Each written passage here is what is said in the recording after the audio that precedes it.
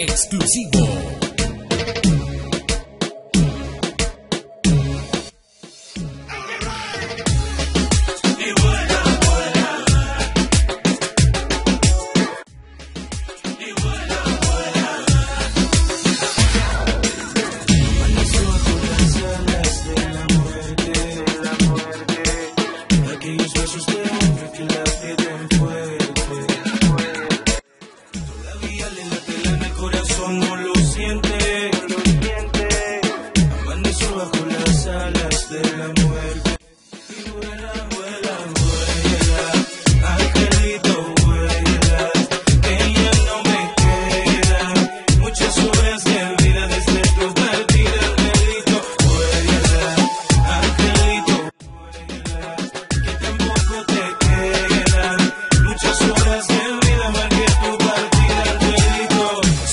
es la cama de un extraño.